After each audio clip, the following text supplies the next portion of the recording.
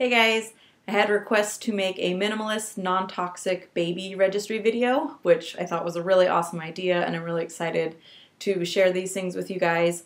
I've talked about a lot of these products um, in the past, so I'll link a bunch of videos below of things that will go into more detail on specific products if you're interested.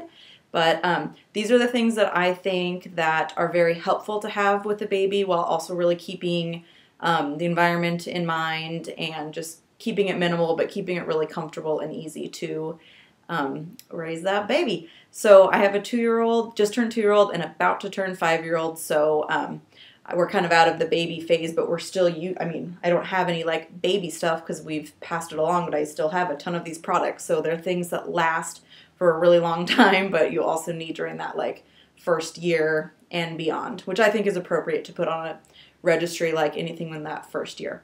So I'm just going to start with like eating type things because there's a lot of it and I can shove it out of my way here. One thing um, is I'm just assuming if you're watching this, then you're probably, this is an assumption, but I'm assuming you're breastfeeding. I'm assuming you're into like natural parenting. I'm assuming you're into organic and minimalist because that's what this is about. So I'm just making assumptions. So the first is breastfeeding.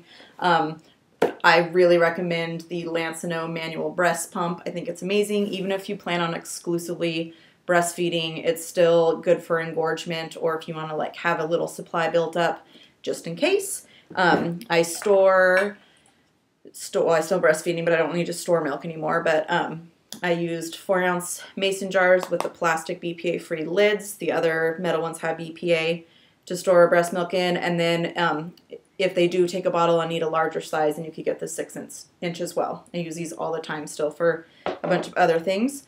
For um, a bottle, I really recommend the Lifefactory brand. It's made in the USA. It's all glass. Um, you can buy a sippy lid separately, so then um, when they're done with the bottle, they can have a sippy cup. So I think you could really seriously get by with one and wash it every time. If you wanted to have two, that'd be cool too. You need a bottle brush um, to wash said bottle sippy cup.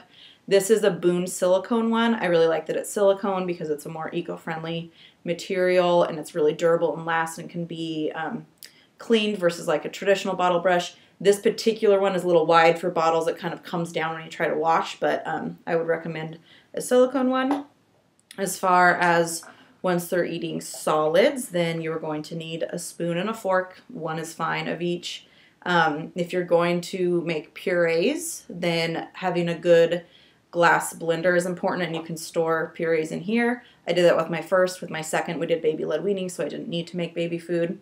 Um, you need a bib. One's been fine for us. Um, the Bumkins, or the, sorry, we have a Bumkins, but that's made in China. So the bum, the Bummis, B-U-M-M-I-S, those bibs are made in North America and they're really great. And then as far as what to eat out of, each of my kids has one of these. It's the InnoBaby stainless steel bus tray. I'll link a video where I talk more about it. Beautiful. Had this for five years with Finley and we use these all the time for snacks still. They're awesome. And then for a high chair, instead of having like a big one that takes up space or is like a lot of plastic, we use the Inglesina, Inglacia, I can't remember, uh, fast chair. I'll link a video. Hooks onto the table. Use this puppy forever. You wash it in the washing machine, it comes out looking brand new. So um, those are my ideas for feeding things. And then sleep is obviously another category. You need a safe place for your baby to sleep, and it's up to you to decide what that looks like for you. But I recommend um, some kind of organic mattress to be part of that and organic bedding to be part of that. We personally use an organic mattress in her crib and an organic crib sheet, and I really like the Crib Critters brand. It's made in the USA and it's organic. Um, for PJs, I've really loved with both my kids the Under the Nile brand. It's made in Egypt. I'll talk a little bit more about it in a second. Their jammies last forever. They're so soft and durable and thick, and they're awesome. I also just found a new brand that I'm going to try called City Threads, which is all um, made in the USA organic cotton. It looks really good. And then while I'm talking about jammies, I'm going to talk about clothes in the same time because for my babies, both of them like pretty much lived in pajamas because they're comfortable and more specifically sleeping gowns, which is just like basically a little dress looking thing with like elastic at the bottom. Super easy to pull up, change their diaper, pull down, keeps them warm. I did not get my baby's dress very much. I don't see the point. They're home. But if you do want to buy them clothes for pictures or going out, or sometimes you want to get them dressed or whatever, um, I definitely recommend purchasing clothes secondhand. That's as eco friendly as it gets. And then some other brands that I really like that are really high quality. Um, American Apparel makes organic baby clothes that are really nice. Under the Nile, which I'm going to mention again, um, and then again later, is um, all fair trade, all organic cotton, all made in Egypt, and they do a lot to um, enrich the people's lives who make those. So I really, really like that brand. And then another one is Pact when they make baby clothes, but they also make adult organic clothes and the prices there's all certified fair trade and all super affordable it's really awesome they actually have that stuff at whole foods if you have one you can check it out and as far as like what clothing pieces you need and how many that's really going to depend on your climate and your season or anything but i would just recommend like starting low and then waiting and see what happens when the baby comes and if you feel like you're short in onesies or short in pajamas or in anything else then just pick up a couple and then they grow so fast. So just do laundry. If you're using cloth diapers, which I also am assuming you will because it's eco-friendly, then um, you know you can just toss them in even with your diapers or whatever. And then um, one hat is plenty, like per size. Especially like newborns do need hats, even if it's summer, just for those like first, especially like the first 24 hours is really important to keep them warm. And then like you know when they're really little, it's good to have a, just even a thin cotton hat and then like a few pairs of socks. That way, if they're wearing a onesie or like a sleeper that doesn't have feet or whatever, you know, keep them warm. So that's kind of like the clothes thing. And then also on that same note, the sleep gowns. Um, there's a lot of organic brands out there, but there's some cool Etsy shops you should check out too. And then um, back to sleep. um, I recommend getting some organic swaddles, just like a swaddle blanket, you know, is just like a really big thin blanket. This one is not an organic one, but this is muslin material. And um, there's a diaper website called greenmountaindiapers.com and they've got a big organic swaddle blanket. It's around $7, which is a really nice deal for organic. And swaddle blankets are amazing because you can use them to swaddle your baby. You can also use them as burp rags. So that's like two for one minimalism there. You can use them as changing mats, like toss them under your baby. You can change them on the go, at home, whatever on there. They're obviously great as a blanket, swaddling, or just putting on top of them in the stroller or car seat or anything. They're great for the nursing covers. You don't have to buy like a separate nursing cover. If you want privacy, you don't have to. Um, then just, you know, you can toss it under, stick the baby under that. They're good for like so many different things. So I would recommend getting like a good six of those, see if that's enough. And then if it's not, then pick up some more.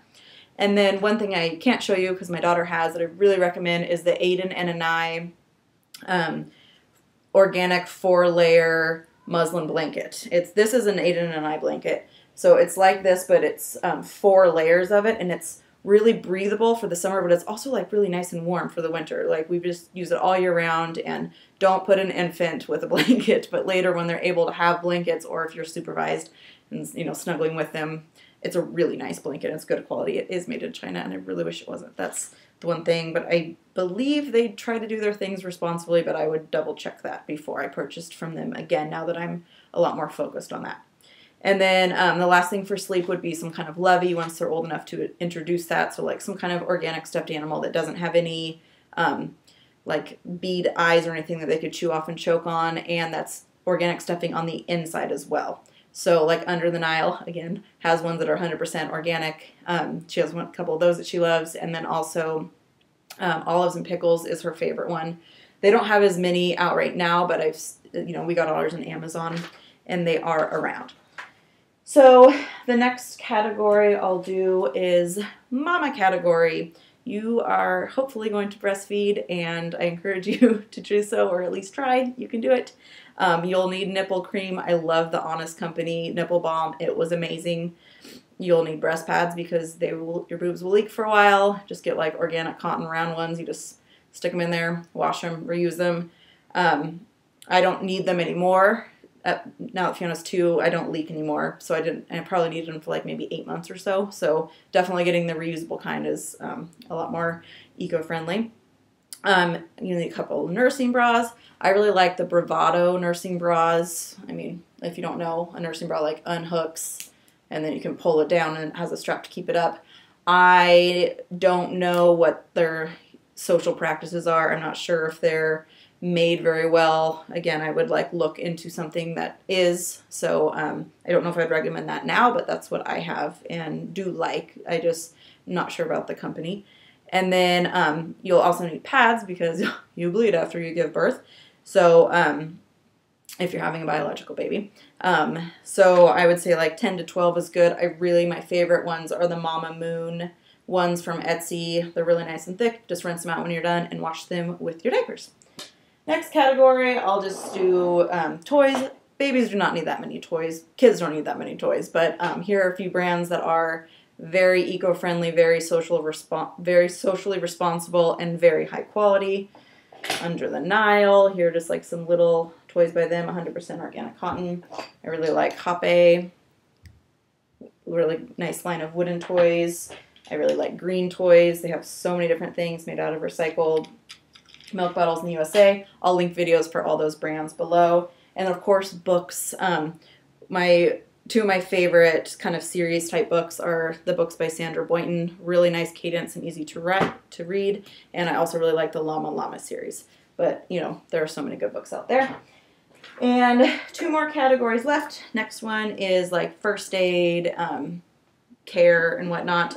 I really like the Honest Company shampoo and body wash. It also like makes a nice bubble bath. Awesome. Babies do not need lotion. You only need to put lotion on them if they are actually having dry skin, which I did not know until my second baby. But if your baby actually has dry skin sometimes and needs it, I really like the Honest Company lotion.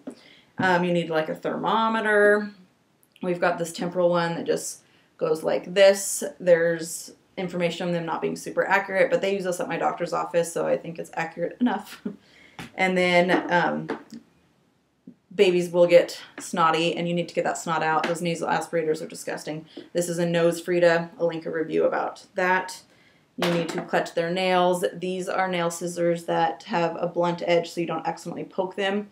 I think that's worth it. they squiggle and move when you try to like cut their fingernails, so um, you need something to cut their nails with. You can do baby clippers too, but clip, I hate that sound. Um, with my son, I did not need a hairbrush, even though he had like longer hair and we grew it out. It didn't need one. My daughter definitely has like tangly hair and she needs one. And I tried using like my comb, my brush, and it was really hard for her. They make bamboo brushes that um, are vegan. Like this isn't horsehair or anything; it's just synthetic bristles. And um, for some reason, this is really gentle on her head, and she doesn't like get mad when I brush her hair with that.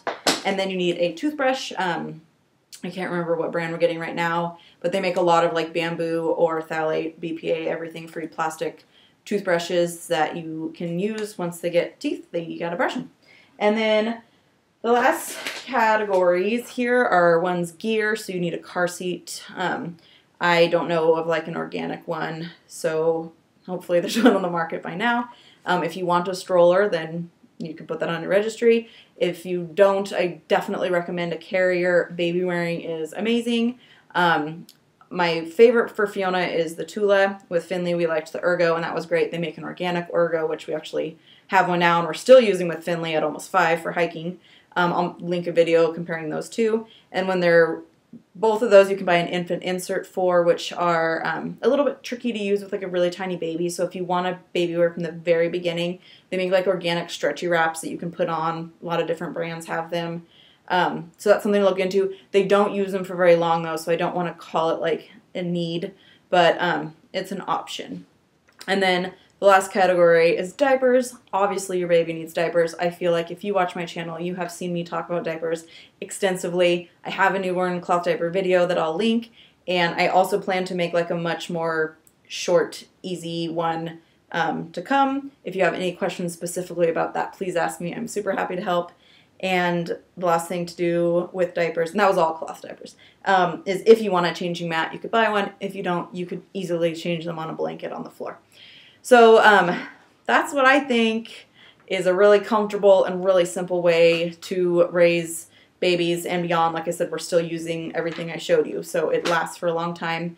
And if you um, have anything else to add to the list, any suggestions, please leave them in the comments below. Any questions, comments, anything, um, any other really eco friendly, social responsible brands you want to introduce us to, also welcome. So thank you for watching and have a good day. Bye.